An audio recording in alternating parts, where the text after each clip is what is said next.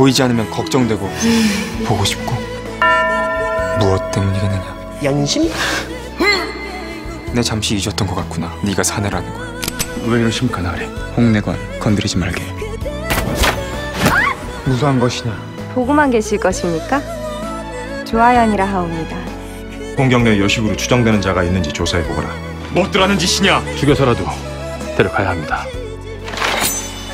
뭘 뺏겨본 적이 없어 내가 당장 풀어 죽어라.